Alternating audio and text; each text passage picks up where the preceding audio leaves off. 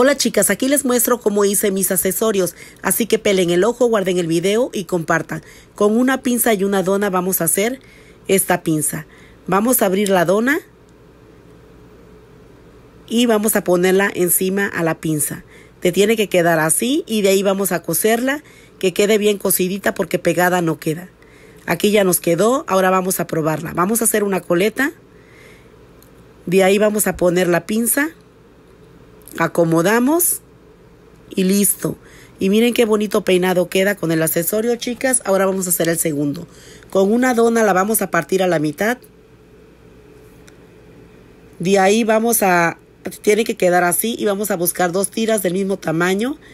Y las vamos a partir a la mitad y luego las vamos a coser con la dona. Te tiene que quedar así. De ahí vamos a probarla. Vamos a hacer todo el cabello para enfrente. Vamos a enrollarla acomodamos, hacemos un nudo, vamos a hacernos un moñito y listo. Y miren qué fácil y rápido, guapas. Bye.